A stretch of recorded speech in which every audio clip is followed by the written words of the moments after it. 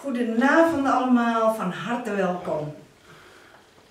Ja, ik ga vanavond hebben over het luisteren naar God. Luisteren naar God is in Hem geloven en vertrouwen. Het is zo, hè? Het is vertrouwen op God. Als je naar Hem luistert, dan vertrouw je wat Heer van je vraagt. En dan ga je naar handelen. Weet je, het, hele leven is eigenlijk luisteren. Het begint al op school, met de juffrouw of de leraar. En dan ga je doen wat de leraar en de juffrouw zeggen. Ook je ouders. En zo is het ook met God. Heel veel mensen hebben ook heel veel meegemaakt. De een meer dan de andere. Maar dat wil niet zeggen dat God je daarin heeft geleid. Voordat je Jezus kende, had je misschien al heel veel beleefd in je leven. Allemaal problemen en moeilijkheden. Maar weet je, als je dan op een gegeven moment de Heer gaat leren kennen, dan kom je in het koninkrijk van God. En dan ga je hele andere leven leven. Dan stel je vertrouwen op God. En soms laat God dingen toe in het leven. Niet dat Hij dat jou geeft, die problemen, maar Hij, hij, hij laat het soms toe om je te vormen naar Zijn beeld. En dat je bruikbaar wordt in het koninkrijk van God.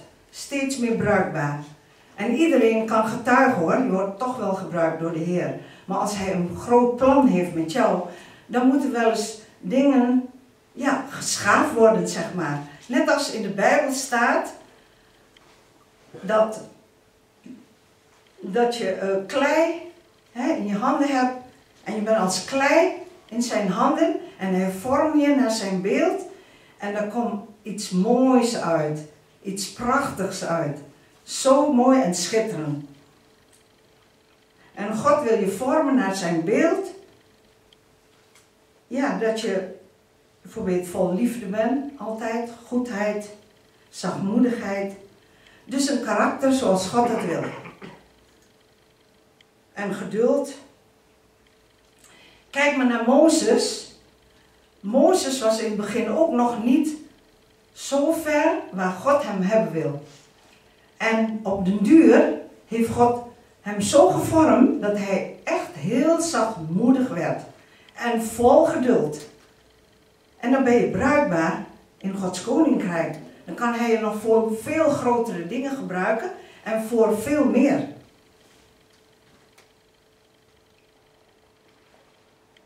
En God gaat je leiden zover tot op het punt waar Hij je hebben wil.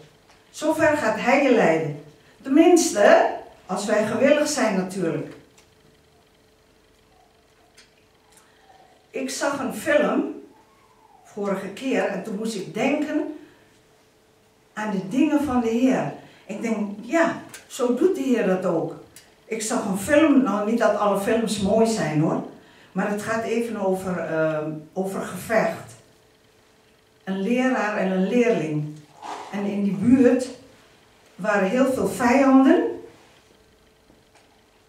En die leerling die leerde vechten hoe hij de vijanden moest verslaan. En de leraar die was heel rijp en heel goed daarin. Maar de leerling niet natuurlijk, maar hij kon ook vechten, heel goed zelfs. Maar hij dacht, hij kon die leraar wel verslaan. En hij begon, hè, en dan zei de leraar, nou kom maar op, kom maar op. En, en dan stond hij daar en de leerling, die begon van alle kanten te, te, slaan en te schoppen. En hij werd kwaad, want hij kreeg de leraar niet op de grond. Hij werd zo kwaad. Hij dacht van, nou, ik moet hem vloeren, hè. Maar ik kreeg hij niet voor elkaar. En hij werd steeds bozer en kwader. Toen zei die leraar, jongen, je doet het helemaal verkeerd, want jij bent veel te kwaad. Jij bent veel te boos om mij te vloeren. Weet je hoe je moet vechten? Eerst denken en rustig zijn van binnen. Eerst goed denken hoe je dat moet doen. Je beheersen. En de Bijbel zegt ook, zelfbeheersing is ook een vrucht, hè? Beheersen. En dan win je. Nou, op den duur was die film zo ver dat die, die leerling had zoveel geleerd en hij was rustiger geworden. En hij werd niet meer kwaad of boos, maar hij kijkt goed naar zijn vijand en hij denkt goed na. Nou, dat is ook iets voor het koninkrijk van God van ons, dat God je zover hebben wil. Dus, dus hij wil je vormen naar zijn beeld. Hier een voorbeeld van uit Jozua 6, vers 1 tot en met 27. Dat gaat over de muur van Jericho, die ken je wel, dat verhaal.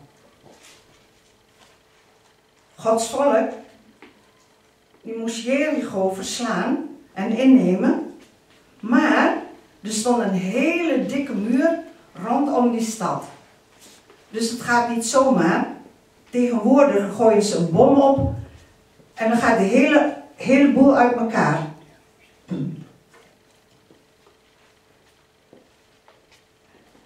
Je kan daar niet komen met een spijkertje en een hamertje. Hè, met de honderd man die het spijker en een hamer in de hand hebben. Daar, kun je niet komen. Om, om, om, om even die muur omver te, te werpen. Dus tegenwoordig zouden ze een bom opgooien en dan is het gebeurd. Dan hoor je knallen en bam, dan is alles uit elkaar. Zo gaat dat. Maar in die tijd zou God dat doen voor hun.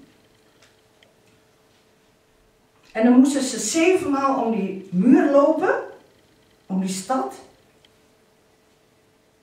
En om lang verhaal kort te maken. En na de zevende maal dan moesten de priesters op de hoorn blazen en het volk moest juichen, heel luid juichen. En dan zou die muur, die zou storten, neerstorten. Kijk, misschien zeg je wel, ja, er zijn wel mensen die dat misschien zeggen, van nou zeg, waarom nou zevenmaal om die muur? Is het dan wel nodig, zevenmaal om die muur te lopen? Eenmaal is toch genoeg en God is toch zo groot hij kan toch in één keer ook doen? Waarom moet je nog zevenmaal om die muur gaan lopen? Wat een onzin, hè? Dat zegt Jan dan. En dan komt Peter aan, zijn vriend. En dan zegt Jan tegen Peter: Nou, Peter, wat vind jij ervan? Moet je zevenmaal om die muur lopen? Vind jij dat nou nodig? God kan toch alles in één keer doen? Waarom zo, zo moeilijk doen als het makkelijk kan? Nou, en dan komt Piet aan en dan vertelt hij zijn verhaal aan Piet. En Piet die zegt precies hetzelfde. Piet zegt, ja, eigenlijk is dat wel zo. Ja, je hebt wel gelijk. Waarom niet in één keer die muur neer laten halen? God kan dat toch wel? Waarom zevenmaal rondom die muur? Nou, en uiteindelijk kwam tante Sarah aan een hele rijpe vrouw en volwassen in het geloof.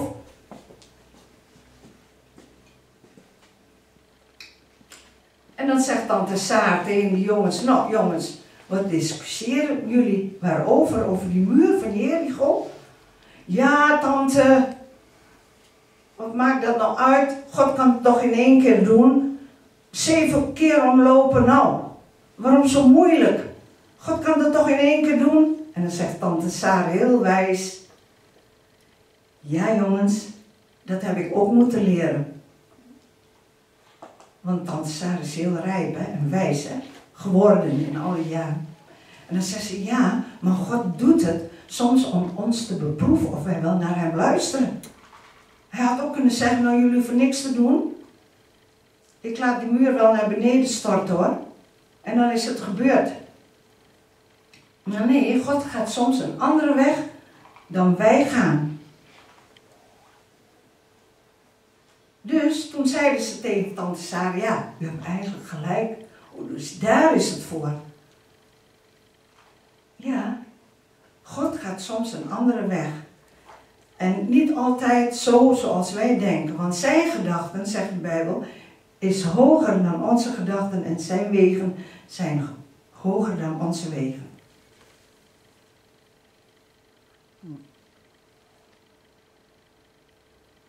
Dus, weet je, het is goed als God iets van je vraagt om dat te doen. Want het is liefde van Hem als Hij dat je vraagt. En het is ook liefde als Hij je vermaant. Want Hij wil het beste voor je. Hij wil dat je heel goed eruit komt om voor Hem te werken.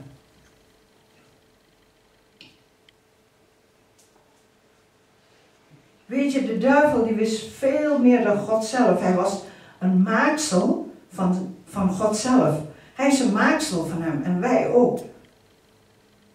En God staat boven ons. En de duivel die wist alles veel beter. De duivel die zal wel even zeggen hoe dat moet. Kijk, hij wil als God zijn. Hij wil boven God staan. En hij luisterde niet, hij was hoogmoedig en daarom werd hij verworpen op aarde. Zo is het eigenlijk gegaan. Ik heb een kennis vroeger hè, en hij zei tegen mij, nou ik heb geleerd in al die jaren om maar niet met God te vechten, want ik doe maar gewoon wat God zegt. Want dan kom je het beste uit. En het is ook nog een zegen voor je als je doet wat God zegt. Kijk, zolang je dingen mag doen van God waar je tegen kan, zeg maar, en wat, wat, je, wat je leuk vindt, ja, dat wil nog wel, hè, naar de dienst gaan en al die dingen meer. Maar zodra hij iets van je vraagt wat je af moet leggen, wat je niet leuk vindt, ja, dan zeg je misschien van, ja, maar heer, niet zo ver hoor, tot zo ver en niet verder, want ik zit niet goed in mijn vel als u dat van me vraagt. En daarom is God dienen en volgen ook vertrouwen en hem, in Hem geloven. En dan krijg je veel meer voor terug van wat je eerst had gehad. Veel meer. Maar dan zie je dat op het ogenblik niet, zullen. Heel veel goede dingen wil God in ons leven geven. En hij wil ons gebruiken in zijn plan om mensen te helpen en op te bouwen in geloof. Maar soms, als je zegt, Heer, ik wil nog meer gebruikt worden, niet alleen maar getuigen van Jezus, nee, ik wil nog veel meer, ja, dan gaat Hij aan je werken, aan je karakter. Kijk maar naar Jezus, hè. Jezus, Hij genas mensen en dan ging het ook elke keer anders. Hij deed het niet allemaal bij, uh, uh, bij iedereen hetzelfde. Hij genas niet iedereen hetzelfde. En dan is hier een verhaal van, hij genas een blinde man. En weet je hoe hij dat deed? Hij spuugde op de grond. Hij maakte daar een papje van, een slijk. En smeerde op de ogen van die blinde man. En dan moest hij naar het water, water van Siloam, moest hij zich wassen. En dan zou hij kunnen zien. Maar misschien heb je weer mensen, net als met die muur van Jericho, dat, dat ze zeggen, nou zeg, moet dat nou weer, hè, slijk, wat smerig zeg, kan de Heer dan niet anders doen?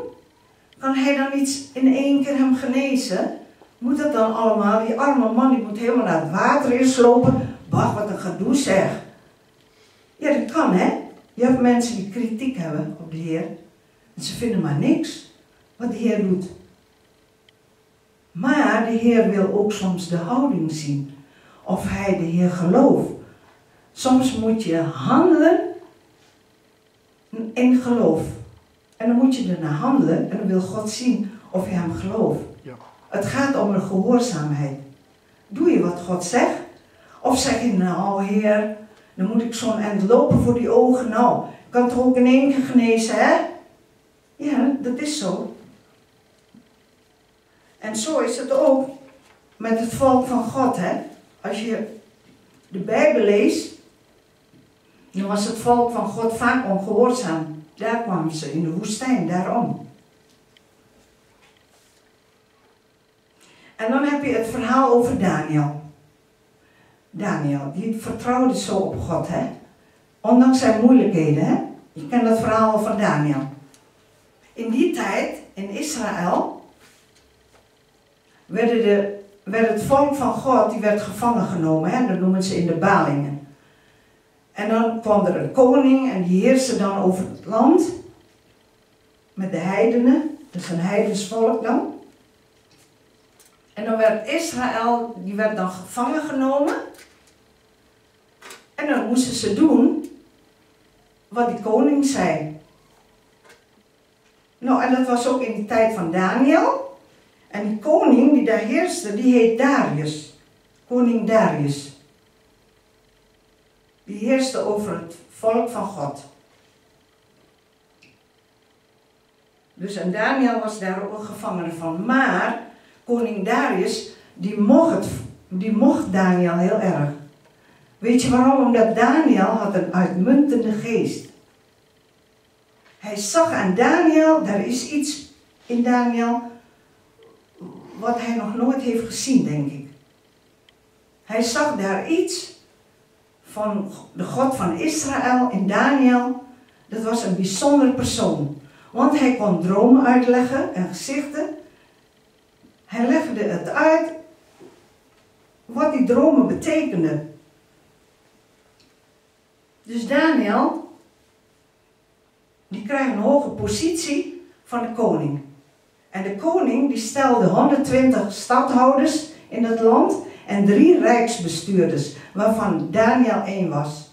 Eh, een rijksbestuurder werd hij, hè? Met, drie, met z'n drieën zijn ze dan.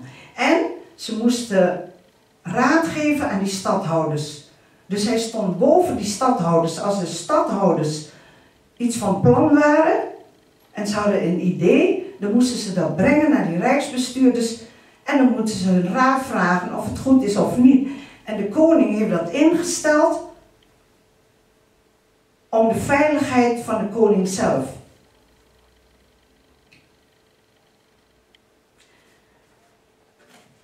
Dus de stadhouders moeten de rekenschap geven aan de drie rijksbestuurders.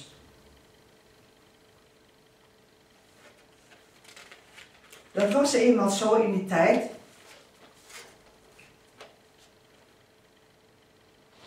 En omdat Darius, koning Darius, Daniel een uitmuntende geest uh, vond in hem,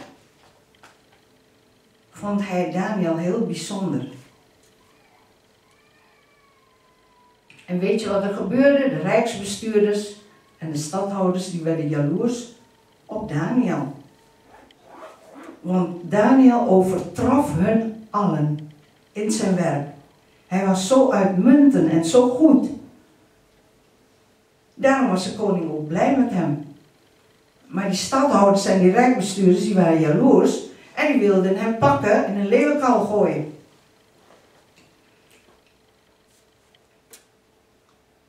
Toen zei de stadhouders en de rijksbestuurders en koning Darius toen zeiden ze, koning, u hebt zelf een wet, een wet uitgeschreven. En het was zo in die tijd, als, je een, als koning een wet heeft voorgeschreven, dan kon het niet meer herroepen worden. Dat was de wet van mede en persen. Dat kon in die tijd niet, dat kon je niet veranderen. En ze zochten uh, een klacht, hè, dat ze Daniel konden pakken. En Daniel, die woonde, in, uh, die woonde aan, de, aan de rand van Jeruzalem. En bij zijn open vensters daarboven, daar ging hij drie maal daags ging die de God van Israël aanbidden. Dat deed hij. En dat zagen ze. En toen gingen ze snel naar de koning. En ze zeiden, koning, u hebt zelf de wet geschreven dat als mensen boven, boven u andere goden eren of andere koningen, dan zouden ze in de leeuwenkal worden gegooid. Want u wil dat zij u alleen eren. En dat zij alleen hem aanbidden. Maar dan had Darius, die had dat in de wet geschreven toen hij natuurlijk Daniel ook nog niet kende. Dat was al, al die jaren zo geweest. En toen gingen ze die klacht indienen bij hem dat Daniel driemaal daags zijn, uh, zijn, zijn God ging aanbidden.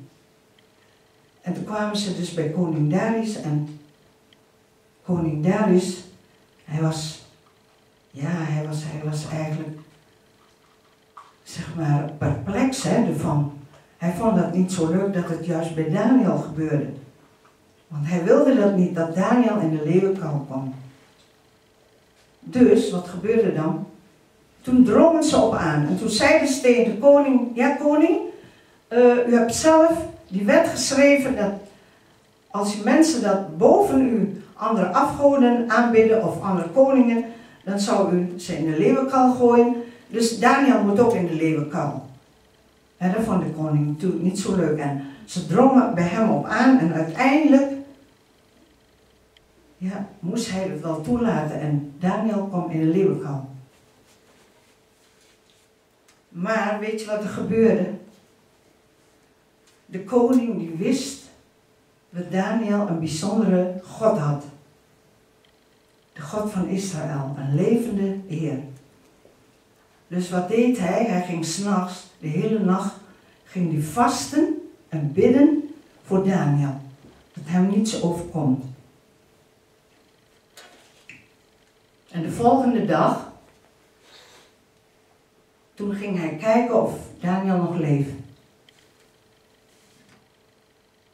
En hij zag dat Daniel nog leefde. De koning was verheugd dat Daniel nog leefde. En hij zei in Daniel 6, vers 26 tot 29, zei hij, Uw vrede zij groot. Door mij wordt bevel gegeven dat men in het gehele machtsgebied van mijn koninkrijk voor de God van Daniel zal vrezen en beven.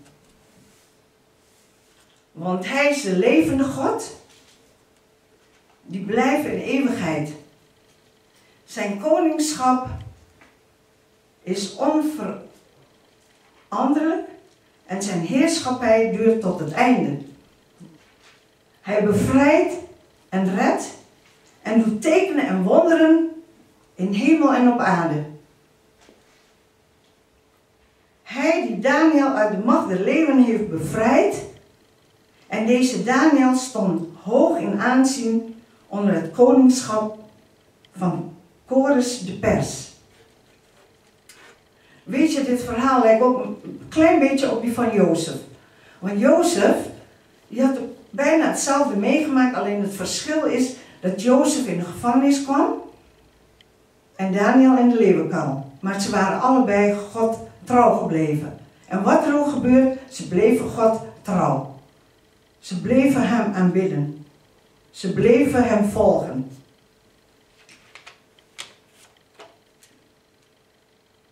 En ook Jozef, die had ook een hoge positie hè, gekregen. Hij werd onderkoning. Dus als je niet weet wat strijd is, dan weet je ook niet wat overwinning is. En als wij getrouw zijn, dan komen wij niet in de muil van de vijand, net als Daniel.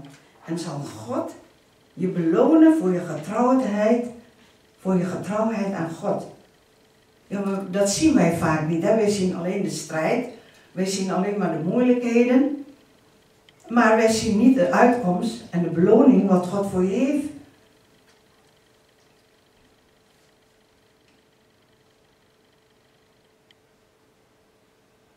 Wat God van je vraagt, ook als je tegenstand krijgt, ook als iedereen je zou verwerpen en verlaten. En dat je er overal alleen voor staat. Dan nog probeer je toch nog naar God te luisteren. Naar wat Hij van je vraagt.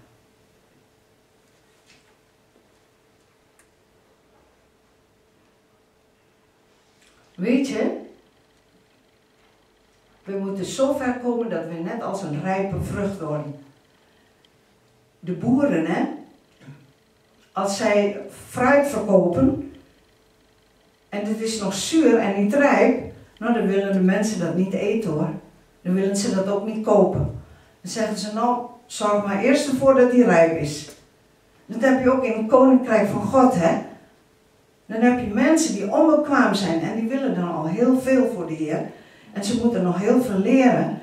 En dan, ja, dan brengen ze meer schade dan dat ze tot zegen zijn.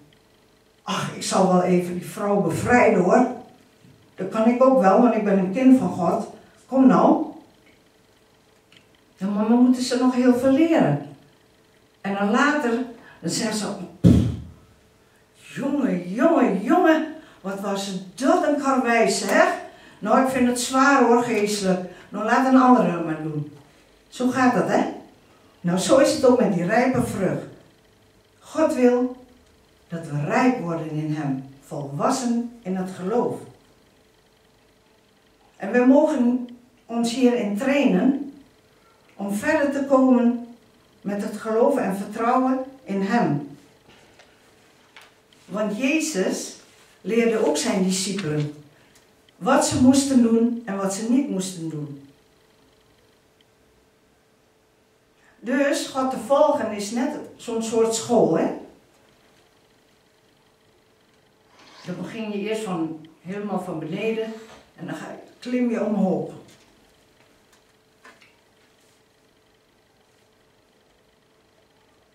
En weet je waarom wij dat allemaal doen? Hem volgen en hem dienen en luisteren naar God, omdat Hij de reden is van ons leven. Hij is de reden van alles eigenlijk. En God zal je nooit wanhopig maken, want Hij geeft hoop. Ook voor de toekomst. En, en, en geen wanhoop geeft Hij. Dus als God ons ergens op vermaant, wil het niet zeggen dat je niet deugt, maar God is zuinig op ons. Hij weet precies wat goed is voor ons en wat niet goed is voor ons. Wij denken altijd heel anders dan God. We dwalen van zijn gedachten af.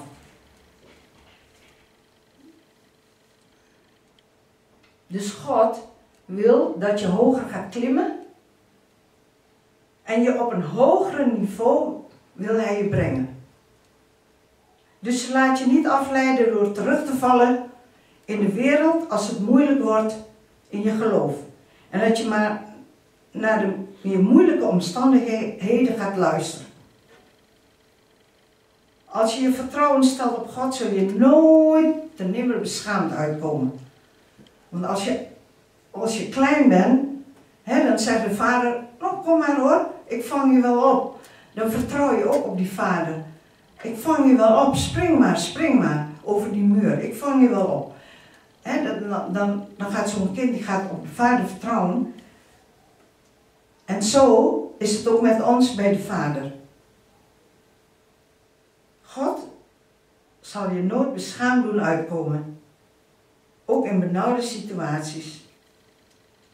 Wij moeten niet de gedachten van de vijand hebben, maar wij moeten de gedachten van God hebben. Dan ga je van overwinning tot overwinning. En niets is onmogelijk bij God. Alles is mogelijk. Want wij hebben een God van wonderen. Maar weet je waarom wij wel eens niet in de overwinning komen? Omdat wij te veel de negatieve dingen vasthouden. We kijken te veel op die, op die omstandigheden van ja, hoe moet dat nou? Ik weet ook wel wat het is hoor. Ik moest daarin ook groeien en leren vertrouwen op God. Maar als je zo ver bent, dan ga je meer de dingen van God zien wat Hij doet, dan de omstandigheden en de moeilijkheden waar je in zit. Dan ga je daar op zien naar kijken. Want dan zeg je, ach, Ik heb het zo vaak meegemaakt. Ik weet wel dat God het nu weer zal veranderen. En dat hij weer uitkomst zal geven. Want wonder op wonder, als je op hem vertrouwt, zal er in je leven gebeuren. Wonder op wonder. Omdat God, ja, vind ik zelf ook, een wonder is. Alles is een wonder eigenlijk in het leven. Wij vinden het allemaal gewoon, maar eigenlijk is de aarde, als je daar kijkt, als je daarop kijkt, dan denk je, ja, dat is toch een wonder. Zo'n groot aardbol die in, in, in, in de lucht hè? al die planeten, dat is toch een wonder? Nou, zou God dan onze problemen niet kunnen oplossen? Dus daarom vertrouw geheel op Hem. En dan zul je zien dat er altijd uitkomst is. Tot zover en ik wens jullie nog een hele fijne week.